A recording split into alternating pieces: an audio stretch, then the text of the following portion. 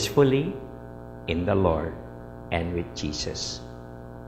O, nariyan ang ating picture, si Holy Father.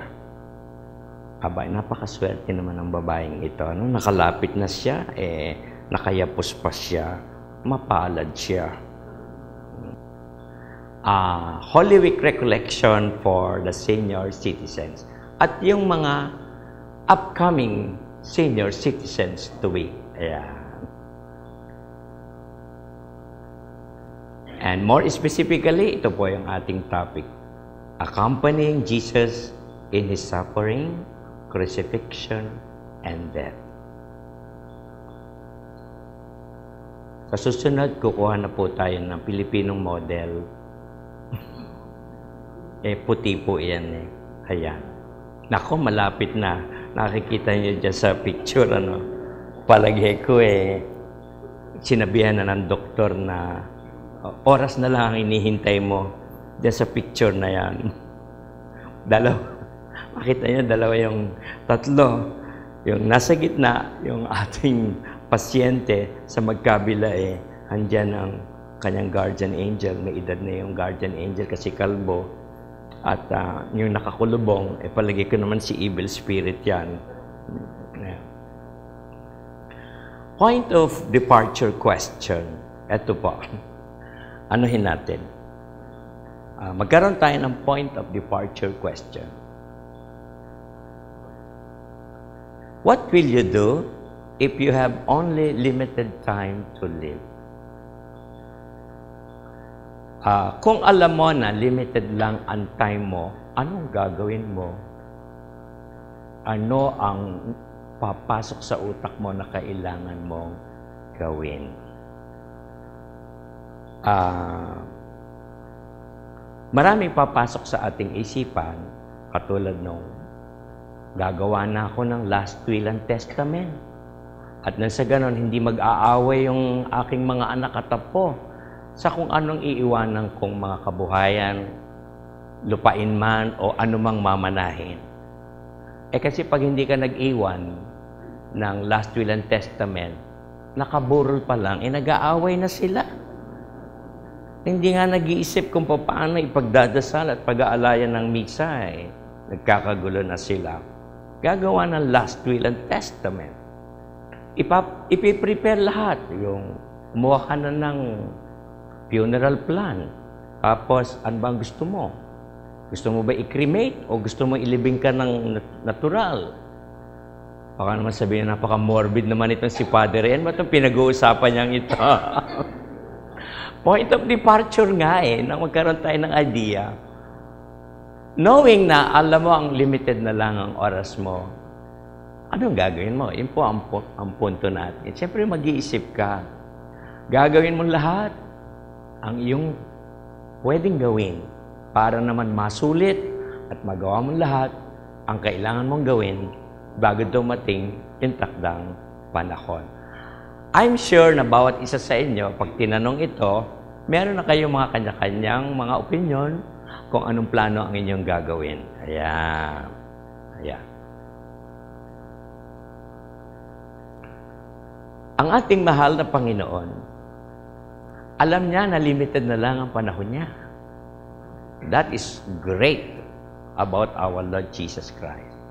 After spending 30 years in private life, family life, alam niya na tatlong taon na lamang ang nalalabi sa kanyang ilalagi sa daigdig. At lalong-lalo na yung nalalapit na yung pagpunta niya sa Jerusalem, na kailangan to pa rin niya ang plano ng kanyang amang nasa langit. Jesus was already on his last few days of his life here on earth. At ito ang ginawa ni Kristo ito ang kanyang tinutukan at binigyan ng matamang paghahanda at talaga nakatutok siya sa nalalabi niyang araw bago siya magpakasakit at mamatay. May mga bagay na ginawa ang ating mahal na Panginoon. So then, Jesus predicted three times His own suffering and death. Tatlong beses niyang nagpredict ng kanyang pagkapakasakit at kamatayan sa krus. But before His death in Jerusalem, Jesus performed the following. Number one, pa, basahin natin lahat. Basa, basahin natin sabay-sabay. He visited Bethany to console Martha and Mary. Number two, he raised Lazarus back to life. Number three, he visited Martha and Mary before his passion. Ang pag ang Panginoon ay pupunta sa Jerusalem, pinaka-shortcut ang siya ay dumaan sa Bethany. Mas maigsing uh, ang kanyang paglalakbay kung dadaan siya sa Bethany. Remember, nung unang panahon, ancient world ng ating Panginoon, wala namang means of communic transportation. Naglalakad talaga mga tao. Yung mga babae at matatanda na hindi kaya maglakad, edi sumasakay sa asno o sa bistro. So, ang ating mahal na Panginoon, kapag ang direksyon niya ay patungo sa Jerusalem, dadaan at dadaan siya sa Bethany. Sapagkat nando doon sa Bethany ang tatlong minamahal niyang mga kaibigan.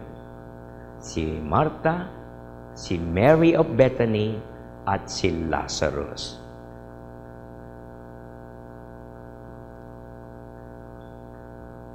Tumutok po tayo doon sa John 12, 1, 1 to 8. Anointing at Bethany in the house of Martha and Mary. It was customary among the Jewish people that if they have a very special, very dignified guest, a very important person to visit the house, it was customary, of course, to give the best. Talagang ibibigay mo sa natatanging panauhin ang pinakamagandang pag-istima, pagtanggap, at ang pinakamagandang maibibigay mo so much so that the visit of the person will be memorable and unforgettable. Bihira lang dumaan ang ating Panginoon sa Bethany. Kaya naman yung tatlong magkakapatid, pag alam nilang dadating ang Panginoon, talagang sila'y naghahanda ng husto.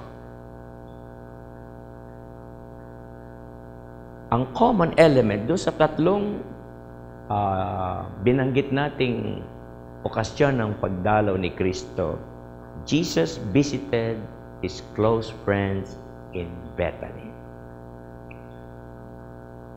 Now, the question, what would we do if the Lord visits us?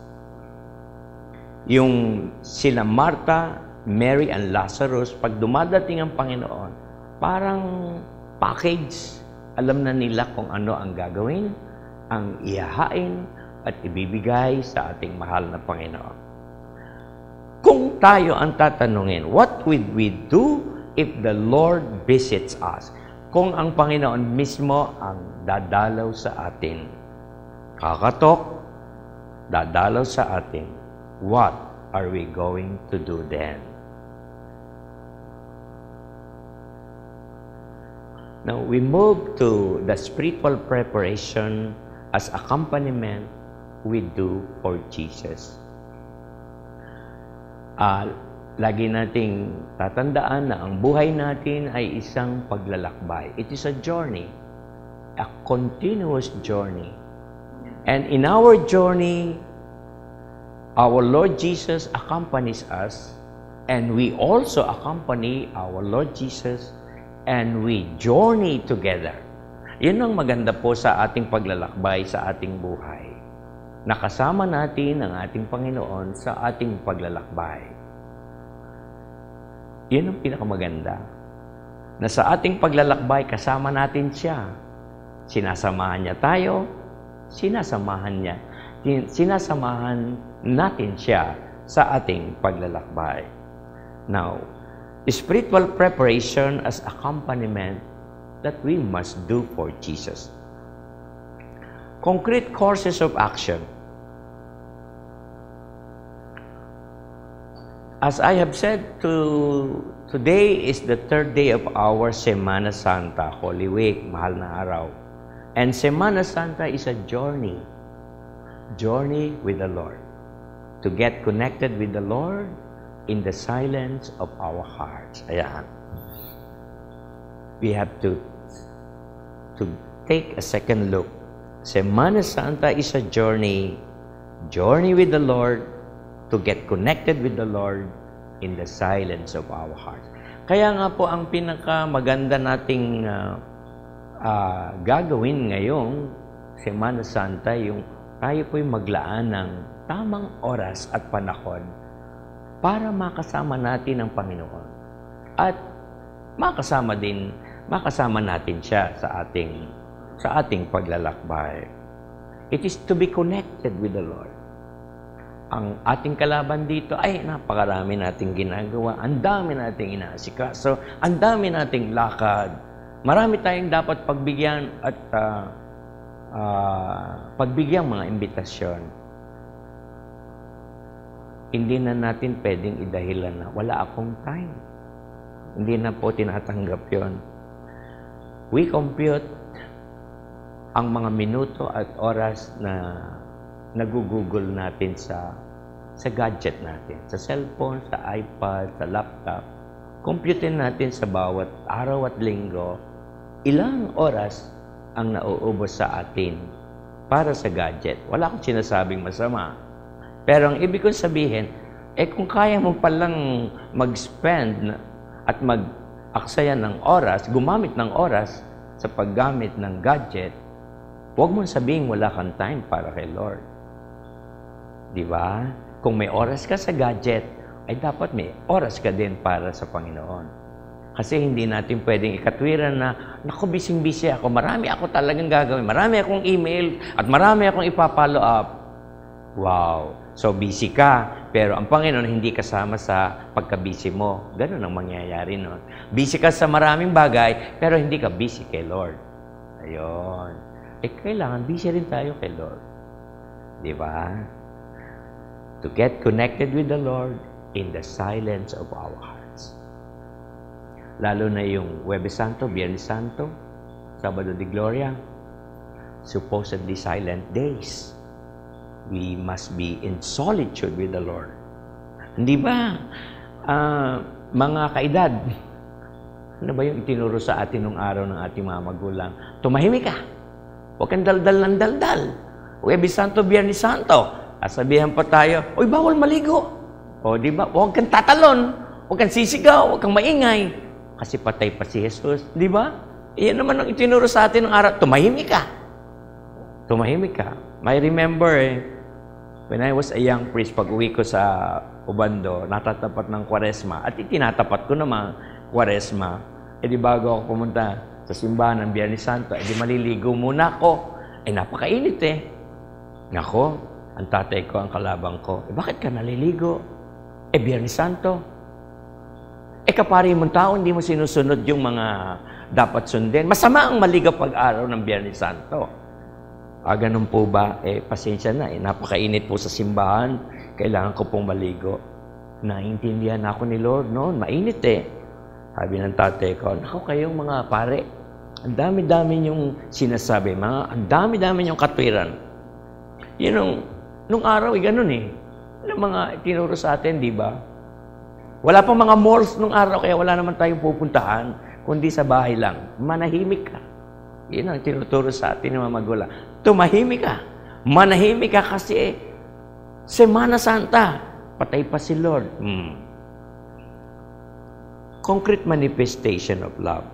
Let's um, go back to Martha. Martha honors Jesus by her personal service. She cooked and served the good food to Jesus. And that is what we call love language. Ang Panginoon hindi naman lumalakad ng mag-isa lang. Pag lumakad ng Panginoon, kasama yung kanyang mga alagad. Labindalawa na yon. meron pa siyang ibang mga alagad. More or less, siguro, mga kulang na limandaan. Sa mga personal sigurong lakad ni Kristo, katulad ng Jerusalem, hindi naman niya siguro sinasamang lahat yon. Nakakahiya naman kung isama niya yung isang pulutong sa bahay ni Martha at Mary, kakain sila lahat. Kawawa naman sila. But let us just assume na pagpunta ng ating Panginoon sa Bethany, pagdalo niya doon, siya at ang kanyang mga alagad. Pagpalagay nating labing tatlo sila. Eh nung unang panahon, lahat ng bagay ay ginagawa ng mano-mano. Talaga ang pagkain ay talagang on the spot gagawin at lulutuin. And so it took time to prepare the food. Ayun. Eh siyempre, si Martha, alam niya si Jesus ang darating, gusto niya yung espesyal na pagkain. Masarap na pagkain para sa Panginoon. Kaya we cannot blame Martha if he if she would spend so much time preparing the food. Eh, siyempre, importanteng tao yon. Alangan naman mag-aros kaldo ka lang at magprito ka ng tuyo, ay, hindi naman. Siyempre, talagang si Martha ay magpiprepare ng masarap na pagkain dahil kahiya-hiya. Kung hindi masarap ang kanyang ihahain sa Panginoon. So, Martha took time and effort to prepare the food for Jesus. Dangan nga lang at nauubusan siya ng oras, siguro bukod doon sa ang uh, ang staple food is bread. Wala namang rice pa nung araw. Eh talagang mano-mano, magmamasa pa si Marta, saka palang gagawa ng tinapay. And really, it took time. Kaya naman nagpanambitan siya sa Panginoon, nagsabi siya na, di bang sabihin mo yung kapatid ko, tulungan na ako kasi malapit nang kumain, hindi pa ako nakakaluto.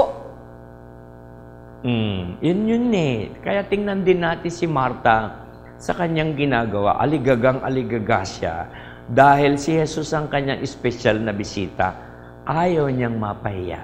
Yun. At gusto niya na si Jesus ay masyahan sa kanyang inihanda. And that is what we call the love language.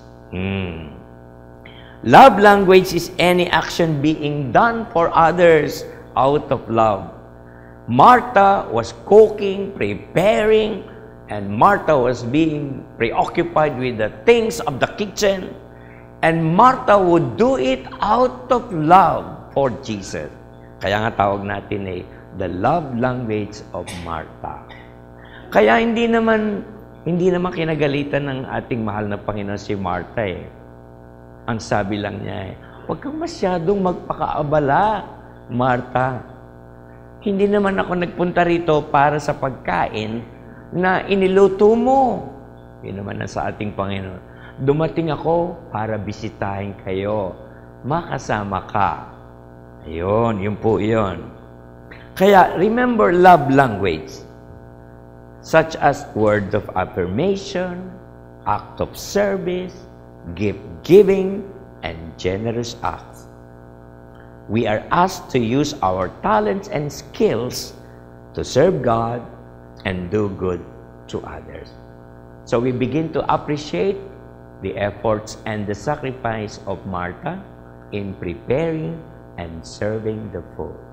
In fact, I honestly believe that our Lord Jesus Christ appreciated what Martha was doing for love of Him. Now, yung last na dalaw ng ating mahal na Panginoon bago siya magsakripisyo, Lazarus was there. Because Lazarus, our Lord Jesus, raised Lazarus back to life. Kaya yung huling visit ng ating Panginoon sa Bethany, tatlo na yung magkakapatid na nando doon. Prior to the suffering and death of Jesus in Jerusalem. Lazarus was already there. And Lazarus was enjoying Jesus' presence by bonding himself with Jesus and listening to Him when Jesus speaks. Ayon. Bonding, ito na ngayon ang uh, ginagamit nating terminology sa mga pagsasama-sama, sa pag-outing, paglakad, bonding. Bonding is the name of the game. And what do we do in bonding? We gather together to enjoy the company of one another. At tayo namang mga Pilipino, pag, pagdating sa bonding, kailangang may kakainin at kailangang may iinumin. Yan ang hindi mawawala sa mga Pilipino. Only in the Philippines and only Filipinos could only have a very memorable and expensive bonding. Kailan ka ba naman nakipag-bonding na hindi ka gagasta? Di ba? Holy Week is a special time to be silent and to listen to Jesus just like Lazarus. So, dalawa na sila. Lazarus and Mary. Okay. Dumako naman tayo kay Mary of Bethany. Mary rendered her best service to Jesus. Anointed the feet of Jesus with aromatic nard. And that perfume was imported and the cost of which is exorbitant, mahal. Ang katumbas na ni 300 denaries. Napakamahal. And Mary of Bethany gave the most valuable possession that she had. Mahal kaya yon. Ayun. Pero merong nag-react dyan. Alam natin kung sino, di ba? Ang nag-react dito sa ginawa nito ni Mary, si Judas Iscariot. O ano ang sabi niya? Bakit sinayang yung mamahaling pabango? Kasi nung ibuhos, humalimuyak sa buong bahay kasi nga imported eh. Talagang napakabango. O de, nag-react naman itong isa. Nag-overreact talaga. Itong si, si Judas Iscariot. Bakit inaksaya ang paba, pabango, ang mamahaling pabango? Bakit hindi na lang ito ibinenta at ang pinagbilhan ay ibinigay sa mga mahihirap? Tama naman, di ba? May katwira naman siya. Eh. Eh, bilhin mo nga naman, ang katumbas at ang halagay 300 denaryo. 300 days wages worth of salary. Abi, sayang naman talaga. May katwira naman siya. Pero akala mo naman, nagmamagandang loob. Pero hindi yun ang totoo at hindi yun ang nasa utak niya at ang kanyang nasa puso. But never mind. Mary of Bethany gave Jesus the most valuable possession that she had. Ito po ang reflection natin dyan.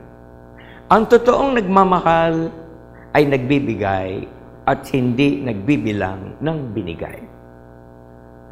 Ang matinong magulang ay hindi nanununton sa kanyang ginawa para sa kanyang mga anak. Love language po ito. At ang lahat ng ating gagawin para sa iba, ang nag-iisang dahilan, ginagawa natin ito at gagawin ko ito dahil sa aking pagmamahal. Kaya ang totoong nagmamahal ay nagbibigay sa abot ng kanyang makakaya at kailanman ay hindi nag, nagbibilang ng kanyang ibinigay. Tandaan po natin yon. Kasi uh, ang tukso po sa atin, magaling ang ating memorya sa ating mga ginagawa sa iba. Magaling ang ating memorya sa ating mga naibigay. At lalong-lalo na ang galing ng ating memorya sa ating ipinautang, lalo yung hindi binayaran. O, magaling tayo dyan sa memorya. At walang may Alzheimer pagdating sa mga ipinautang. Maaalala at maaalala. Kaya naman pagka nagkaroon ng aberya, pag nagkaroon na ng, ng problema, pag hindi na nasunod ang inaasahan at nagkasakitan ng kalooban, eto na. Maririnig na natin ang sumbatan at ang panununton at paniningil sa anumang bagay na ibinigay o sa anumang bagay na ginawa.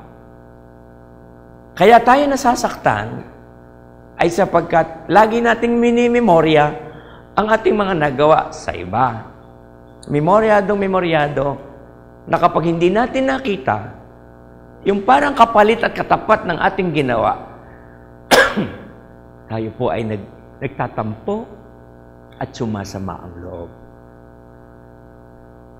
Inuulit ko, ang matinong magulang ay hindi nanununton sa kanyang ginawa.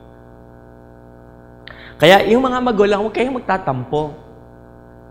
Minsan lang, ano, sa iyong mga anak, pag kami mga asawa na nagkanya-kanya na, maas, uh, maalala kayo at dili, nagtuturuan, kung sino magsasama sa ospital, kung sino sasama sa check-up, at lalong hindi mo makita, pagdating na ng bayaran. Ayan, turuan na yan. Turuan na yan. Ikaw na magbayad, may utang ka pa sa akin eh. Ikaw magbayad ngayon, parang ano na lang, parang bayad mo na yun sa utang mo sa akin. Oh. Ayan. Huwag ta, sa mga magulang, huwag magdaramdam. Huwag magtatampo. Kung nakikita niyo at naramdaman na nagkukulang ang inyong mga anak. Sapagat after all, ang lahat ng ginawa niyo para sa kanila ay bunga ng inyong pagmamahal. Di ba?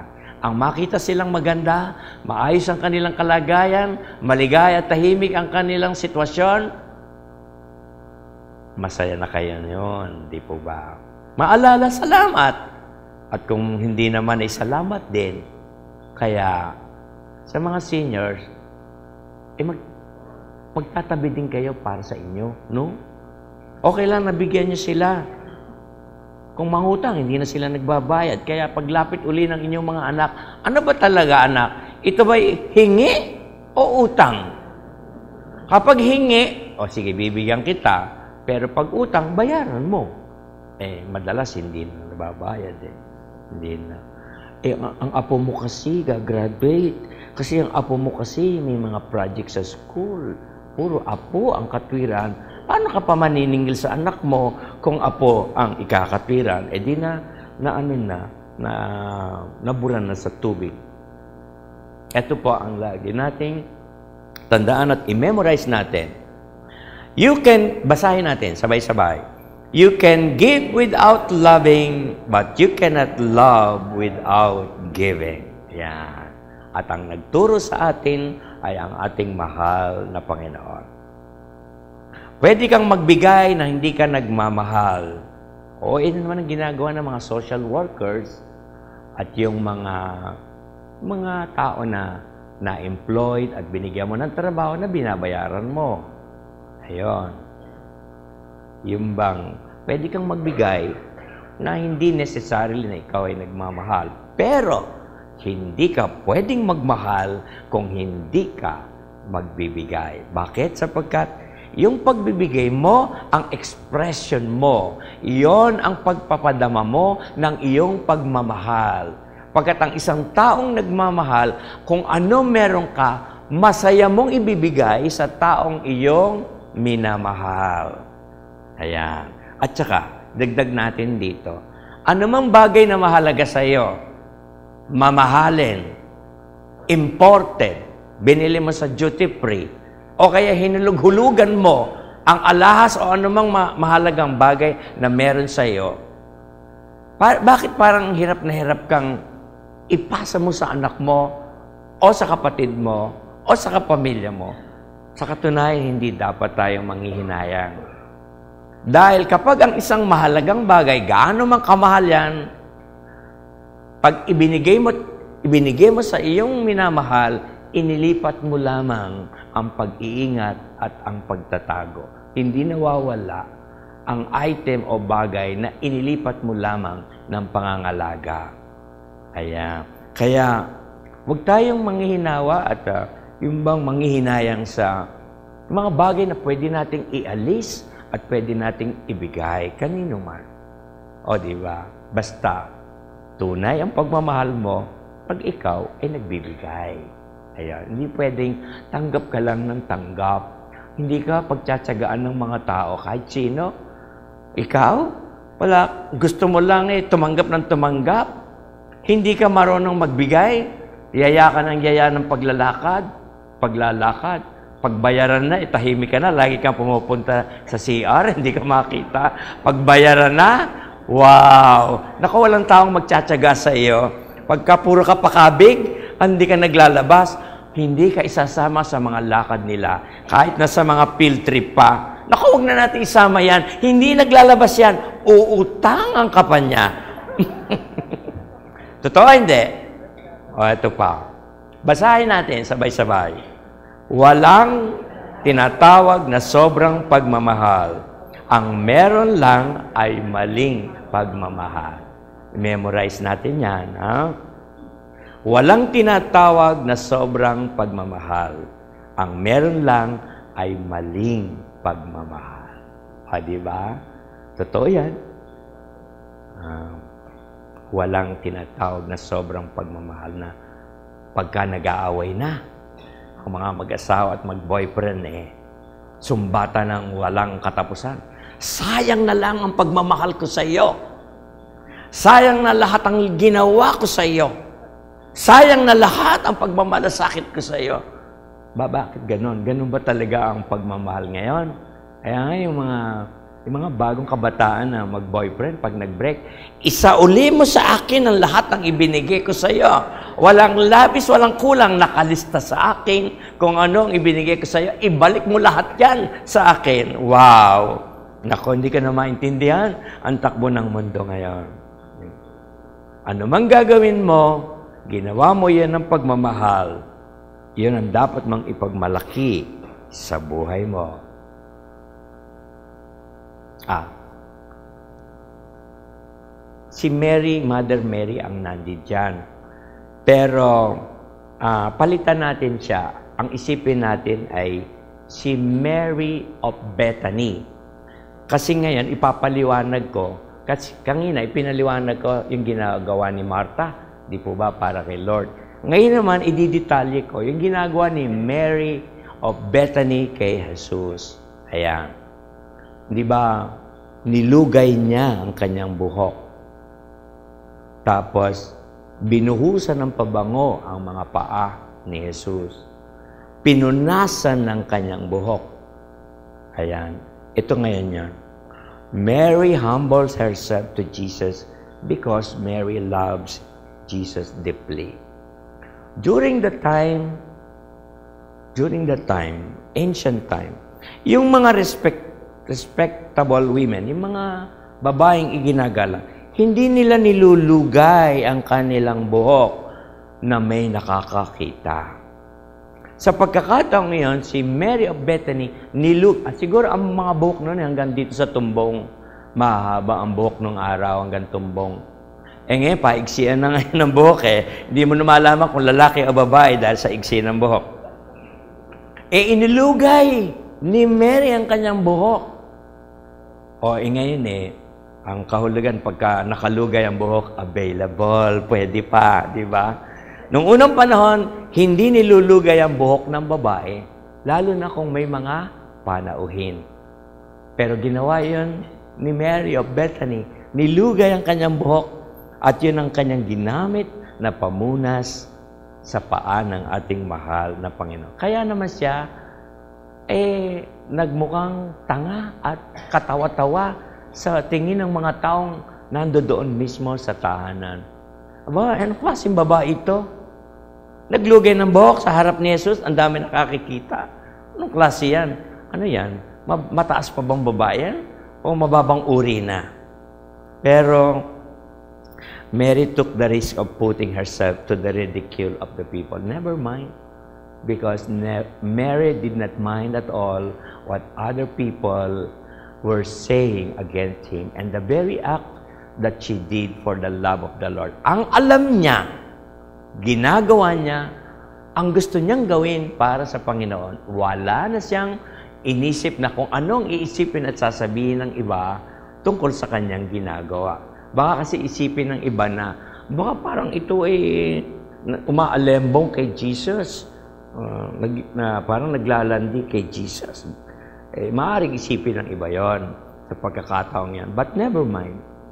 Mary was so honest and sincere to do what she has to do for the love of Jesus. At sa ano nga, dito po sa paliwanag ng ating mahal na Panginoon. Kasi dumipensa ang ating Panginoon kay, kay Mary. Talagang pinangatwiran siya.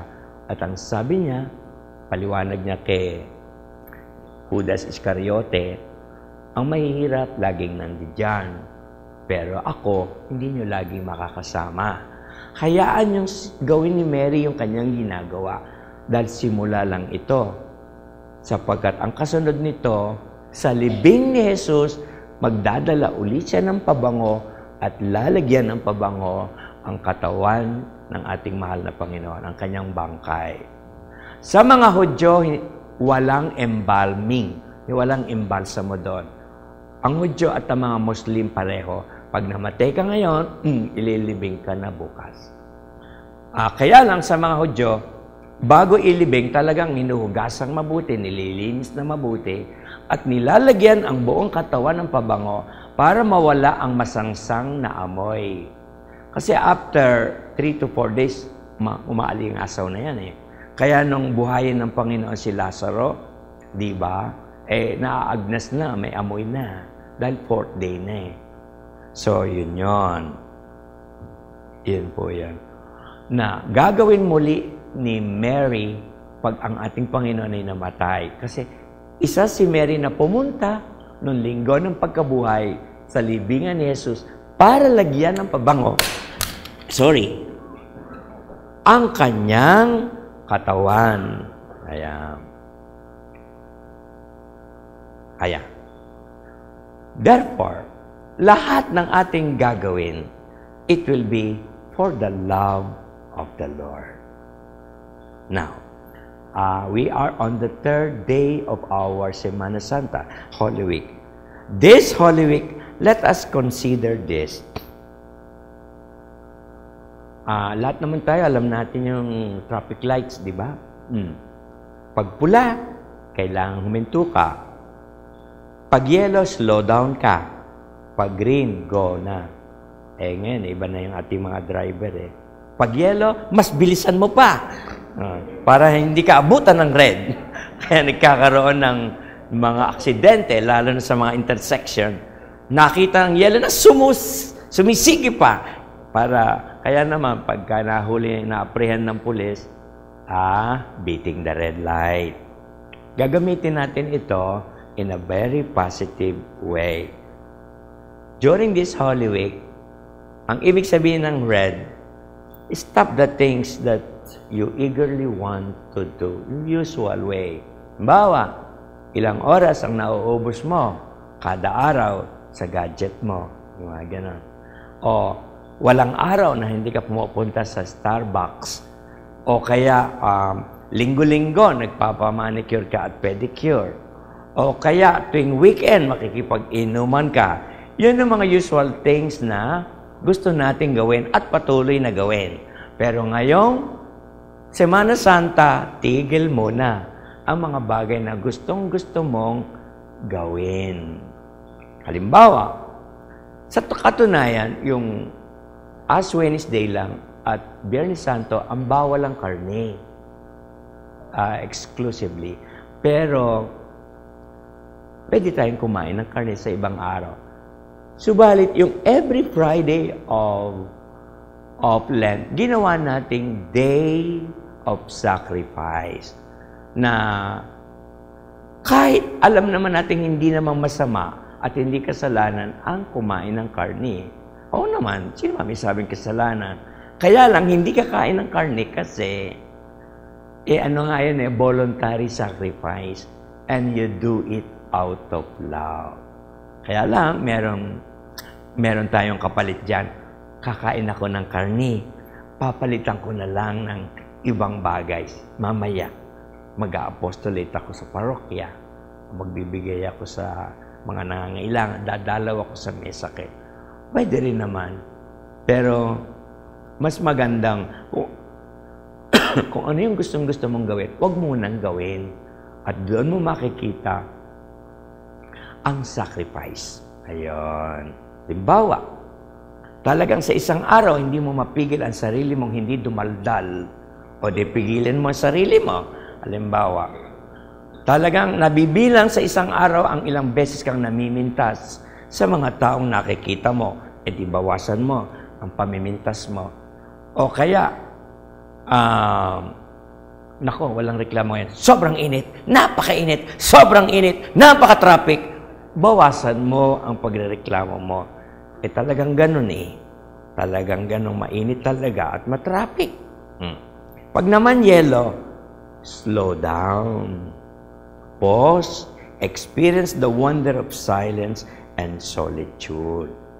Kung hindi natin nagawa nung nakalipas na panahon ng kwaresma, pues gawin natin ngayon slow down, pause, experience the wonder of silence and solitude. Ay nako, kung matapos itong Semana Santa, na parang tulad din ng dati at walang pinag-iba, paano tayo na makikinabang ng husto sa Semana Santa kung hindi natin gagawin ang mga bagay na hindi naman pangkaraniwan. Lalong-lalo na, Huwebes Santo, Biyernes Santo. Actually, tatlong araw nga yan na tahimik tayo eh. Huwebes Santo, Biyernes Santo at Sabado de Gloria. Pero naiba na ngayon. Pagka Sabado, nasa beach, nasa resort, balik na uli sa dati. Pero, huwag niyong kalilimutan ang itinuro sa atin nung maliliit pa tayo Sabado, patay pa si Jesus, kaya manahimik ka muna. Bukas ka na magingay dahil buhay na siya bukas. Tatandaan niyo, di ba? Sabado, patay pa si Jesus. Oh, tama naman. And then, green. Go out and do good to others, especially those who are in need. Tomorrow, ano ang pagkakaalam natin pagka Holy Wednesday? Ano alam natin? Uh, base sa Gospel. Di ba, Betrayal Wednesday? Uh, Wednesday, ano? Betrayal Wednesday. Pero nakalimutan na ba natin na kapag Miyerkules Santo ay Miyerkules de Caridad? Nakalimutan na natin yan? Miyerkules de Caridad. Caridad Wednesday of Charity. Ano ba ang significance nito? Magpakain ka, lalong-lalo na sa mga taong kapuspalad at talagang walang makain. Miyerkules de Caridad. Ayun, bukas, magpakain ka ng libre sa mga tao. Pero, yung pakakainin nyo, yung talagang walang pera yung kailangan-kailangan mo talagang uh, bigyan. Kaya pagluluto nyo bukas, dagdagan nyo, ilagay nyo sa, sa pack at ibigay nyo kung kanginin nyo at uh, kailangang bigyan. Bakit? Tomorrow is Miyerkules de Caridad. Wednesday of Charity or Charity Wednesday. Hmm. Ayan. Yan. Tomorrow, ako bukas may libre akong pananghalian. Pero, doon lang po sa aking mga empleyado. Dahil pag sila kumain, isang kanin lang at isang ulam. Ang ulam nila ngayon ay si tenta na, beef 80. Kaya bukas, eh, ililibre ko sila. Kung gusto niyo sumama, siguraduhin niyo lang na wala kayong pera, okay? Baka mamaya kilala ko kayong may pera, sasama kayo. Pwede rin. Pwede naman po. Basahin natin sabay-sabay. Jesus lived only for 33 years of family and private life. Next, Jesus maximized the last remaining three years in the service of God, His Father. Kaya ako kanina tinanong, anong gagawin mo kung alam mong limitado na ang panahong ibinibigay sa iyo para mabuhay dito sa mundo? Kasi yung ating Panginoon, He maximized and optimized the last three years in the service of God and His Father. Talagang sa tatlong taon na yon, ginugol, inubos ni Jesus ang panahon at lakas sa paglilingkod sa kanyang ama at sa mga taong ipinagkatiwala sa kanya. Without let up. Great. Tatlong taon lang, Talagang nanilbihan ang ating mahal na Panginoon. Pero look, hanggang ngayon, more than 2,000 years pagkatapos na mabuhay si Kristo, everyone is talking about what the Lord has done. Tatlong taon lang yon. Look at what Jesus has done. Eto, ah, personal na atin pong itong sasagutin. Number one, did Jesus have any regret in His life on earth? Meron bang pinagsisihan ang ating Panginoon? O meron ba siyang bagay na dapat sana ay nagawa niya, pero hindi niya nagawa? And the answer is no. Jesus did not have any regret in His life on earth. Question number two. Sa, tan itanong ngayon na natin ito sa ating sarili. What regrets do we have now? Siyempre, if we look back, hmm, lahat naman tayo may regrets. Utang na loob. Aminin natin yon. May tayong regrets bakit ba ito pa yung napakasalan ko samantalang ang dami-dami lumiligaw, lumiligaw sa aking mas mayayaman, mas gwapo at mas galante? Bakit pa ba itong isang ito ang pinili ko at pinakasalan ko? Yung mga ganun. Oh. Meron ba tayong regrets? Bakit ba hindi ko pa naisip mag, uh, magtabi ng araw, mag, uh, mag-ipon? Gastos ako ng gastos. Bakit ba hindi ko nadalaw yung aking kaibigan ay namatay na't lahat, hindi ko nadalaw? Ayun. Uh, yung mga biyanan yung yumaon na, meron ba kayong regret? Bakit ba hindi ko naalagaan ng biyanan ko? Eh kasi nabubwisit ako sa kanya eh. yung mga ganon. O yung mismong magulang mo, naalagaan mo ba yon bago yumao at tinawag ng ating mahal na Panginoon? Sa madaling salita, sa nakalipas na mga panahon sa ating buhay, ano yung mga na pinanghinayangan natin, mga bagay na dapat sana ay ating nagawa, pero hindi natin nagawa. Meron yan, hindi pwedeng wala. Let us just be honest and be fair to ourselves. Wala namang masama eh. Ang importante lang, tanggapin natin, we own ano man. Ako, maski ako pare, may mga regrets din ako nung araw. Ayun, hindi naman mawawala yon.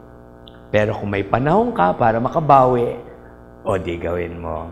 Kwento ko lang sa inyo. Uh, when I had the chance to go to Hong Kong, pumunta kami sa doon sa Disney, Disneyland. Hindi ba may carousel doon? Eh, matagal ako nakatayo. Kasama ko nun si Father Andy. Ba, tinatayo-tayo mo dyan. Alam mo, Det, nung maliit ako, gustong gusto kong sumakay sa carousel. Pero hindi ako na isakay ng nanay ko dahil walang pera doon sa perya pag piyesta ng Ubando. Sabi ni, anong gusto mong mangyari? Huwag niyo akong pagtawanan, pero sasakay ako sa carousel. Kasi ayokong mag-regret na sa edad kong ito, na magsisisenta na, isasakay pa ako sa carousel. Sa, hindi po ako nagbibiro. Sumakay talaga ako. Hindi na ako naupo, nahiya ako, nakakapit ako. Mga ilang ikot din niya. Saya-saya ko. Wow, ganito pa yung feeling ng nakasakay sa carousel. Bagay na hindi ko natikman ng araw. Nag-regret ako yun eh. Tapos isa pa yung, gusto gusto kong maging Boy Scout. Eh, hindi ako kayang ibili ng nanay ko ng uniform. Eh, binibili ang uniform ng araw. Eh, ngayon talaga, eh, gustuhin ko man eh. Ayoko na, nakakahiya naman. Ngayon pa ako mag-Boy Scout. Pero yung mga bagay na, na hindi ko na ibigay sa sarili ko noon, ah, di, hindi, it's not too late yet. Not too late yet. And then question number three, what do we do in order to avoid regrets in life? Ito, maganda po ito. Maganda po itong baon natin ito sa ating sarili What do we do in order to avoid regrets in life? Huwag na nating hintayin na hindi na tayo makakilos, hindi na tayo makagalaw, matanda na tayo, malabo na ang mata. Yung mga bagay na gusto natin gawin, hindi na natin nagawa. Dahil hindi natin binigyan ng pansin at atensyon. Huwag nang ganon. Mahirap na yung kung hindi na tayo makagalaw, hindi na tayo makakilos, saka ka magre-regret. Kaya kayo, kung may pera kayo, mag-pilgrim tour kayo. Dahil tayong mga Katoliko at Kristiyano, once in our lifetime, kung meron lang pagkakataon that we have to go and visit the Holy Land. At saka yung St. Peter's Basilica. Eh kung yung mga Muslim, bago sila mamatay, kailangan makapunta sila sa Mecca. Kahit magkanda matay-matay, basta makarating sa Mecca. Tayo din ganon. In our lifetime, eh di pag-ipunan mo, eh, napakamahal, Father, hindi namin kaya. Oh, ibenta mo lahat yung handbag mo. At uh, sasapat ang pera mo. Ayon. Huwag mo nang hintayin, malabo na ang mata mo at hindi ka na makalag at saka ka pa sasama ng pilgrim tour. Maiwan ka sa hotel dahil hindi mo na kayang maglakad. Para wala tayong regrets. Ngayon, pag may pera ka at kaya mo, pag may nararamdaman kang hindi maganda sa katawan mo, ay magpatingin ka kaagad. May nararamdaman ka, manaka-naka, malimit, sumasakit, inaman ko na lang ito ng ano, biogesic, mamamaya, mawawala na ito mamaya. Eh magpa-check up ka ngayon, 1,000 ka agad ang bayad sa consultant, wala pang gamot. Gastos lang, itutulog ko na lang yan, ipapahinga ko na lang yan, mawawala din yan. Eh kung hindi mawala, eh di magre-regrets ka. Di ba? Yan ang aking ibig sabihin. Hanggang may lakas ka, may pagkakataong ibinibigay ang Diyos sa iyo, gawin mo na ang gusto mong gawin. Gumawa tayo ngayon ng tinatawag na bucket list. Sampu yun. Bucket list. 1, 2, 3, 4, 5, 6, 7, 8, 9. Ano ang mga hindi mo pa nagagawa na kailangan mong gawin bago ka tawagin ni Lord sa kabilang buhay? Kailangan merong ganyan para nga, pagdating ng panahon, wow, di happy tayo. Wala tayong pinagsisihan, wala tayong pinanghinayangan dahil nagawa natin ang kailangan at dapat nating gawin. Ito po ang itinuturo at magandang aral sa atin ng ating mahal na Panginoon. Ulitin ko, 33 years lang siyang nabuhay.